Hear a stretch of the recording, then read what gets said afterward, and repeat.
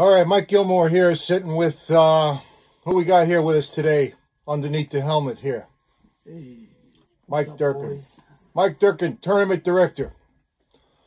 So, uh, in years past, I've made a small commentary on each uh, each team that I thought had a pretty decent chance of uh, doing well in the respective event. Usually during the nibs, or but I'm I'm going to do a little bit of that this year with the uh, the Tilly. So, what I decided to do, Mikey and I decided to do, is just uh, put everybody's name in a in a bowl and then just come up with some ad lib stuff uh, on the teams that we uh, we pick from the hat. So I've got this nice Scottish bowl here that I won in the Screen Door Open in 1977, and uh, I'm going to pick some names out of the hat here.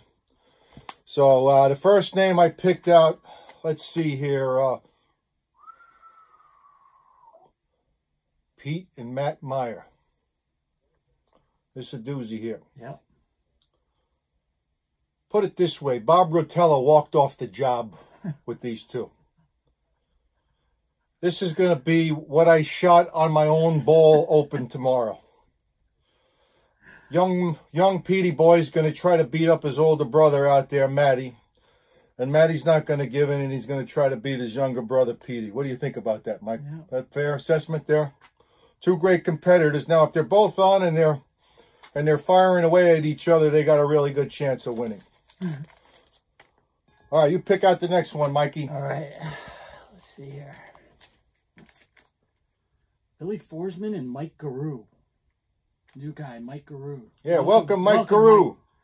Mike. Welcome. Welcome to Wingfoot, pal. Your partner, Billy Forsman, uses a baseball tee. Tees it up about this high. Right?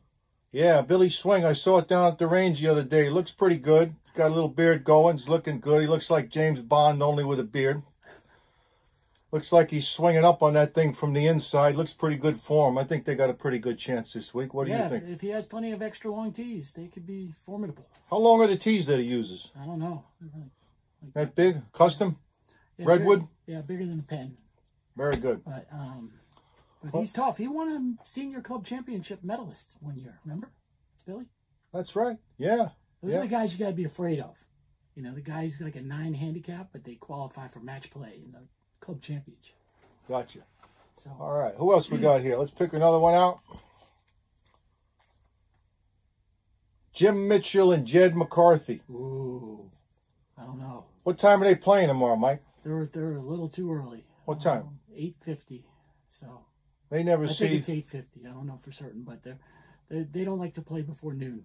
So that's a that's a that's a tough one. It's a strong team, but the early starting time could actually throw off their equilibrium tomorrow, huh? They are fiery competitors, especially Jed McCarthy.